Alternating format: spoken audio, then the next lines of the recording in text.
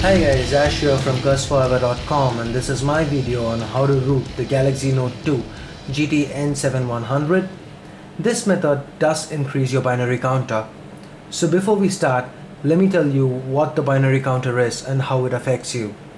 The binary counter is the indicator that proves that you have flashed unauthorized software onto your device and can lead to the loss of warranty. We usually reset this counter using an app called Triangle Away.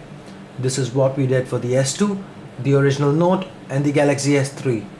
The developer Chainfire is working on compatibility with the Note 2 and it should be available shortly. But as of today, the 7th of October 2012, there is no way to reset the flash counter. Once Triangle Away is updated, I will annotate it onto the video and add, the, add it to the description as well. The app developer Chainfire is a well-respected member of the Samsung Galaxy rooting community and uh, I believe that the update I mean the compatibility issue the, the app will be made compatible real soon. So I'm gonna go ahead and root my device now and I'd suggest you guys to do the same. And one more thing guys when you root your phone none of your data the apps or data will be affected so don't worry about it. So guys the first thing you need to do is go ahead and get Samsung Kies installed and uh, that is available in from link 1 in the description. So once you've done that hit link 2 and 3 and download these two files. Guys now just select Odin right click it and hit extract here. You will have Odin.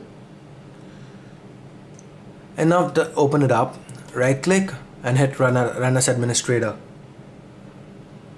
So now on your Galaxy Note 2 hold the down volume power and the home buttons at the same time. You might end up taking a screenshot but just keep holding or holding them till you see the screen then you can let it go. Now hit volume up. It would say downloading. Now just connect your phone to the micro USB cable that's connected to your computer. And if you have Samsung Kies installed properly, this would turn blue. So guys by default the auto reboot and f dot reset time would be the only two check and leave it as it is. So now hit PDA and select the other file that we downloaded that is link 3 that is cwm6 root note2.tar and all you need to do now is hit start.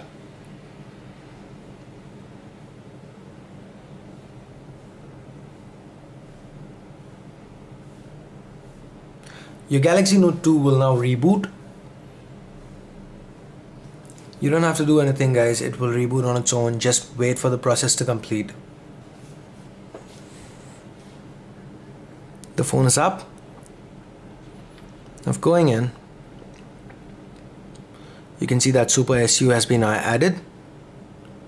Just open it up and hit continue if it asks for it and then you can leave it so now your phone has for uh, full root access. So uh, let's go ahead and hold up volume power and the home keys at the same time. Again you might take a screenshot but don't worry about it. Just keep holding it till you see Samsung Galaxy Note 2 displayed then let it go